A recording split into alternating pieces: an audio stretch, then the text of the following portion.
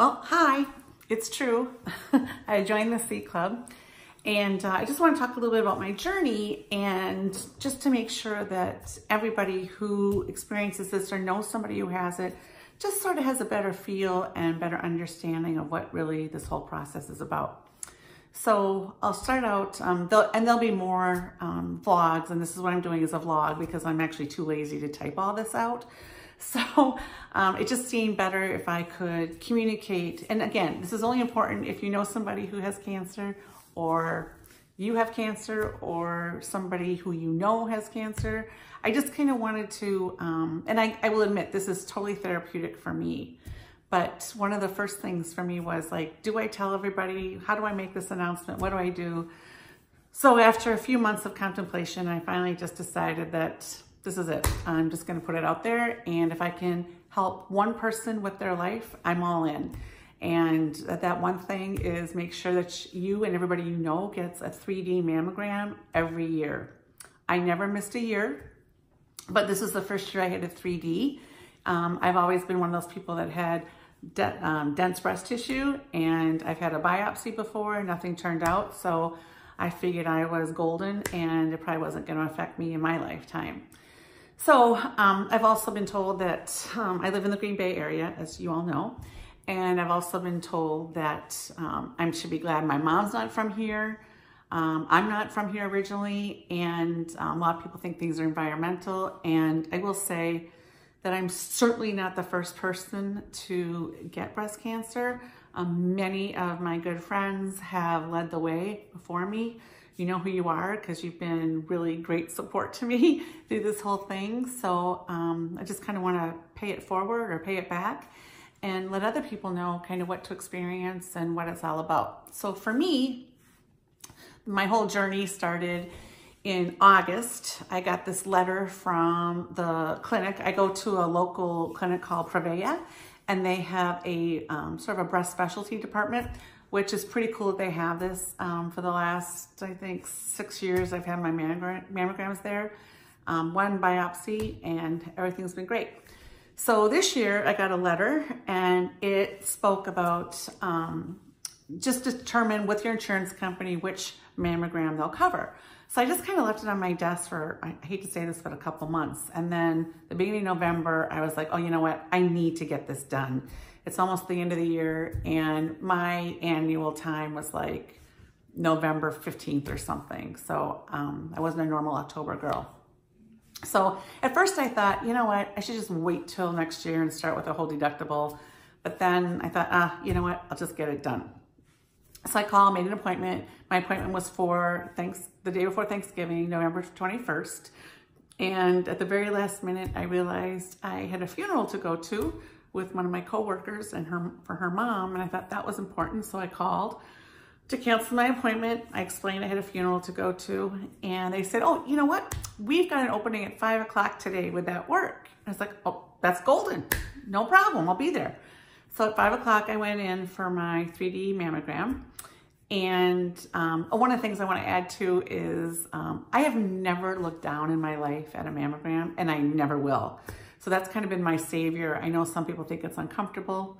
Um, that's never really bothered me, but I have never looked down. So I, I kind of think that's been my secret.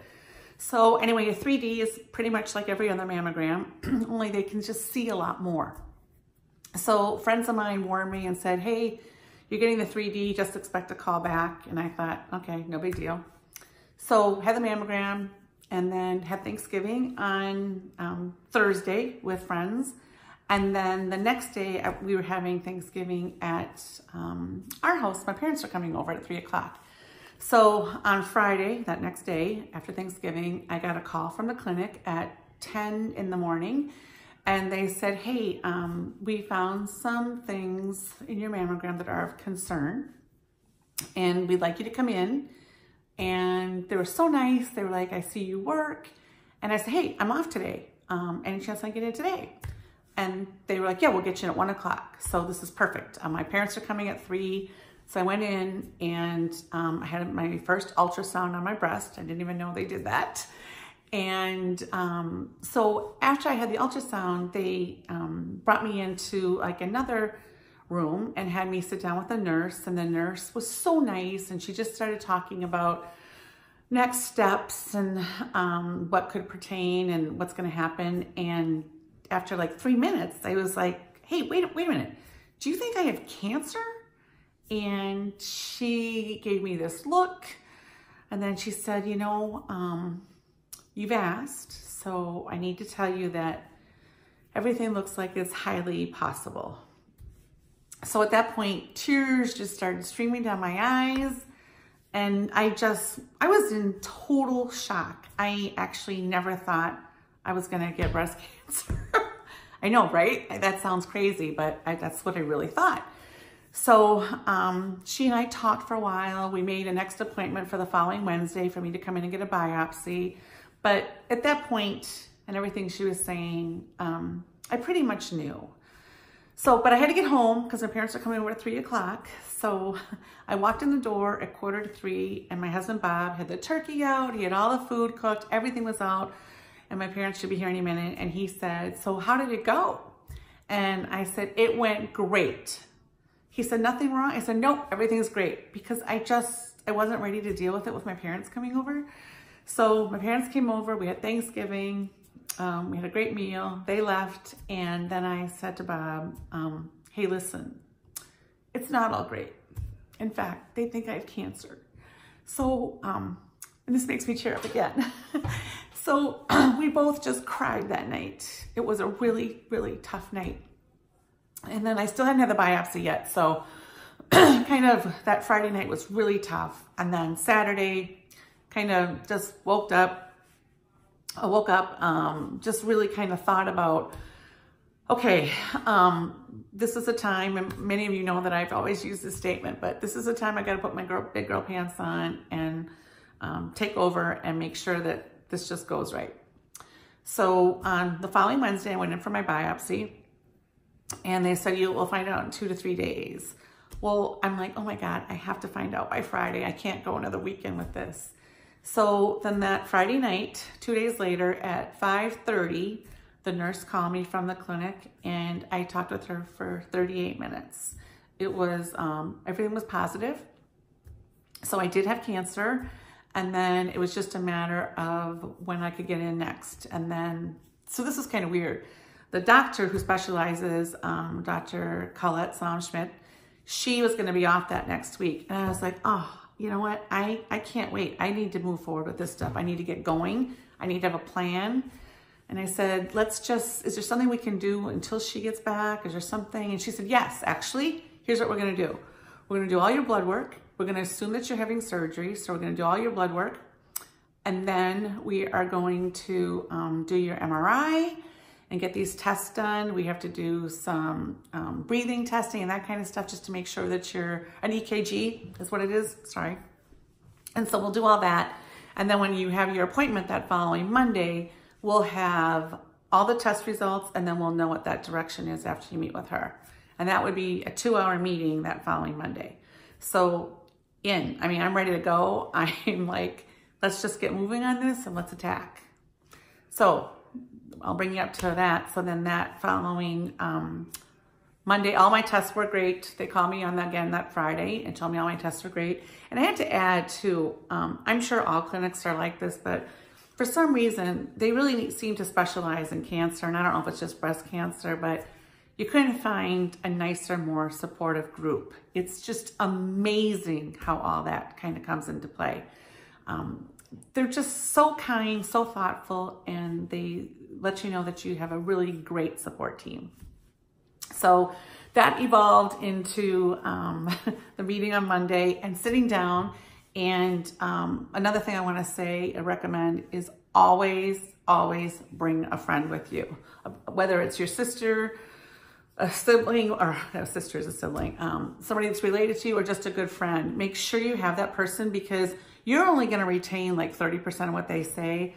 And for me, my husband, he's totally all in, but he hears a lot, but you just need that other person. And he, he actually hears more than I do what they're saying. But um, when you have that meeting, that first meeting with your doctor after you've had all your tests, it's all about, okay, these are your options. They don't tell you like, you should get a mastectomy. They don't tell you you should get a lumpectomy. They say, here's how it all works. These are the percentages. These are the options you have. And now what do you want to do? So based on the, the statistics, the studies, um, and I need to also add that things have changed so much in the last two years, let alone five years. And um, so I went with a lumpectomy and um, that was done like uh, the week before Christmas. So that's all taken out at this point. And, um, but I, again, I would just say make sure you've got a great support system because here's some fun facts. Um, if you have a great support system, you are three times um, greater to have a success rate. So basically it's your success rate is three times greater when you've got a great support system and a positive attitude. So um, I've really been blessed to have people in my life who have just been there for me, um, go to appointments with me, check in daily. Um, I just feel so fortunate for that because that's the one thing you find out. And these are the words that you want to hear. And when people say these to you, it's just like, it just brings you to tears. Um, it is, we're in this together. And when you have people in your life that say to you, listen, don't worry, we're in this together, we've got you, it's just, just so emotional. Which brings me to another thing. So my clinic gives you a book and it's, um, a, it's like a workbook. It's a huge book. Um, and it walks through a lot of things, what to expect and all these kinds of things, but they insist that you read the first 13 pages. And the 13, the first 13 pages are all about how emotional cancer is. And I thought, well, really, how emotional can it be? Well, guess what? It's super emotional. And it's emotional because, and they don't say this in the book, but after more studying with my doctor and talking to her in conversations, I realized why. But cancer sucks the serotonin out of you. So not only are you dealing with all of these emotions, but when you have that sort of void, you just, it's like I can tear up. If somebody hugs me or is so genuine in what they say to me, it just makes me tear up. So that's been um, a really huge lesson. And the other thing about cancer that's really tough is that people can't see cancer, so they don't know what you're going through at the time.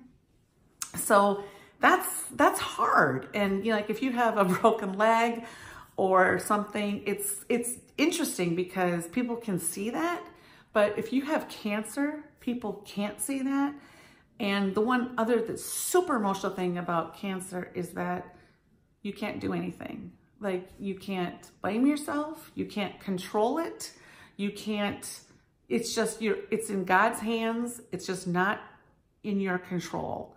And when you have a personality like mine, hmm, um, and you've lost control, that is the most humbling thing you could ever imagine. And I, have just found that to be um, just really, I, I guess the best word is humbling and human and there's just nothing you can do. And that will bring you to tears just because you, not that you're feeling sorry for yourself, but you're just so frustrated because there's nothing you can do. So I'll kind of fast forward here to, um, and I'll, and again, I'll do another video, but, um, and I don't want to keep too much of your time, but I just wanted to kind of go through this stuff, but some kind of funny things that have happened along the way as well is um, I had surgery um, a couple days before Christmas and the week before Christmas. And it worked out again perfect because I had already scheduled vacation. So that's what I spent my vacation doing. Uh, we did not have a wonderful Christmas here. I didn't put on any decorations or anything because I wasn't sure what I could handle um, based on my arm strength. And that's one thing I'll talk about in a second. But um, just knowing everything that was going on and um, again, I had people come to the hospital with me. Um, I went in at 8.30 in the morning. My first, um, my first, uh, I, I, guess, um, treatment or thing was done at 10.30. And then I had another one at 1 and then my lumpectomy at 3. And at 10, they actually do what they call um, this nuclear medical medicine thing. And they um, they're testing, they're, they're, it's gonna track into your lymph nodes to see whether you've got cancer there or not. But that is, um, now bear with me here, that, and some people, and you know who you are, told me that was the most painful thing of all of having cancer, but they actually stick a needle into your nipple to um, put those fluids in. And it's crazy. I mean, you just think, oh my God, I don't know if I can tolerate this, but I had a really great doctor and I got through that with just um, flying colors. So that was fine. And then I should back up. They, when you go to the hospital that day, they give you a happy pill. So you're kind of like, you can't eat or anything all day, but you're kind of like a little groggy, but kind of fun. And um, again, my husband was there. My parents had stopped by. Um, I had a couple really great friends stop by, but five girls um, stayed in the hospital the whole time. And uh, this is important to remember. So it's kind of a small room, probably like eight by 10. And um, I feel very blessed whoever came to the hospital, but um, in particular, um, these girls just sat there, they pulled my hair, they played with my hair, and we just laughed the whole day. Um, they had a picnic lunch, and um, like Bob was there, and then these um, five girls. And this is what's kind of funny. It was um, Sherry, who's 61, soon to be 62. Oh, that's, that's important to note. I'm 59, um, Diane like 55, Nancy 50, Dia 48, and Anne, I think 53.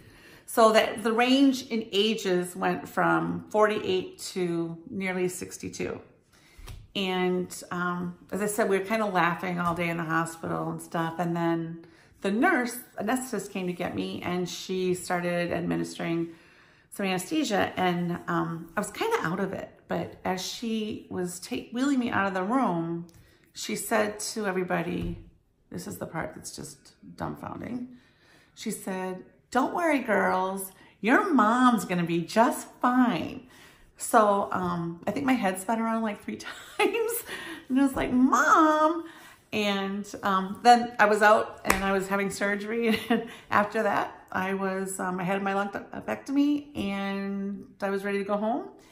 And that kind of just had to heal for four to five days. Oh, excuse me, excuse me, like four weeks. So um, I would have started probably radiation a little sooner, but that had to heal. And then I got an infection.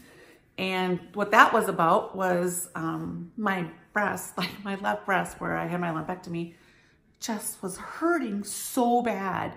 And on um, Saturday, which would have been uh, like the, I don't know, the 6th or something, maybe the 4th of January, um, I was at home and I just decided I'm in so much pain, I need to do something. So, um, and we were going on a cruise the following weekend, so I needed to make sure that I took care of everything. And the cruise we were going on was for work, and that was not even planned, but my boss, who was pregnant, um, couldn't get on a cruise ship, and it was to schedule, it was to take customers. So I was supposed to be in Dallas, so she and I switched places at the last minute, and I, Bob and I went on this company cruise to with customers and um, which was awesome to do, but it was just kind of last minute and um, having this infection could have really messed things up. So what happened was on a Saturday, I was um, just thinking, I'm in so much pain, I really need to do something. So I called and um, three and a half hours later, like at quarter to three in the afternoon, they called and said, you need to get to the um, urgent care. You need to get over there and they close at four, so you need to go. So I thought, what's going on now? But aside from that, um, we were supposed to go to a dinner party that night and I was to make a Greek salad. So and as I'm waiting for them to call and stuff, I finally decided I was gonna make this Greek salad. So I've got red onion, I've got calamatas, um, whatever, goat cheese, all of these things that um, are kind of smelly. So I had been making this salad and I had to get to urgent care and I think I washed my hands like 27 times before I left, but I could still kind of smell that stuff. So I get to urgent care and she looks at my breast and my breast was just kind of like red, probably like in a two inch diameter. And it just didn't look right and it hurt. So when I got to urgent care, the doctor looked at it and said, oh geez, we got to get you to the ER. And I'm like, oh my God. And I, again, I need to tell you that I still felt like I smelled like olives and onions and stuff. I'm like, oh, I said, can I just run home and take a shower quick? Plus I thought I had to go to this dinner party and I thought I just need to kind of get organized. And they're like, no, you need to get to the ER right now. So that was interesting. So I called Bob and said, listen, I can't go. Take care of that salad. Um, get it to where it needs to go. And he said, no, I'm not going to do that. Um, I'll drop the salad off if somebody will pick it up and I'll meet you at the ER. So um, I walk into the ER and, and this is really fun because, you know, again, no one can kind of see what's going on with you. So I walk into the ER and they said they were going to call beforehand and the receptionist says, um, yes. And I have to say, um, yeah, I have an infection in my breast. And then she looks at me like I'm from outer space. So then I have to say, um, yeah, I have breast cancer. And then she's like, oh, honey, oh my gosh, come on, come on, let me take care of you. And then, like, okay, well, great, thanks. Now I had to call the cancer card. So anyway, I got in, um, and you know, ER is ER. I, uh, Bob was there and I think four hours later, I um, was getting a, uh, a radiologist was going in and taking all this fluid out. So it's called a seroma. So that happened to me. And a seroma is when um, they take, anytime somebody takes tissue out of your body, all that fluid can fill up and it just causes all this pain because it can't escape. So that's what I had. And then, um, but I will tell you this, I had fentanyl for the first time and that's what Michael Jackson and Prince had. It is the most um, insane experience. You get this drug in you and they tell you that it'll be out of your system within like 30 to 45 minutes. And it was. It's like I was completely lucid, but just sort of floating and um, no pain, no nothing. And um, it was amazing because they got two syringes like this long and this much around of fluid out of me and then put me on antibiotics for 10 days, like four pills a day. So that was that. And um, then now I just had to wait for radiation. So I went on the cruise, everything was fine. Um, did all that, uh, infection was gone. Um, had a really nice time on the cruise, which was a really nice break, and then came back and um, was ready to go. So I'll start my next video um, or vlog soon, but just kind of wanted to give you a head start on where we're at. And then I'll also talk about the do's and don'ts for your friends that have cancer. All right, well, take care. And again, I'm, i should have said this at the beginning. I'm doing great. I have um, three days of radiation under me. I have um, 12 more to go and I think it's going to be fine. I hope. They talk about a lot of symptoms with radiation. Some people say that their radiation was much worse than their chemo, but I'm hoping that that's not going to be the case, and I'm trying not to have pseudo symptoms. So um, I'll keep you posted, but I hope this helps some people, and I hope that you can see that you can have a positive attitude through all this and get through it with the help of friends and um, people that understand it. All right, bye-bye.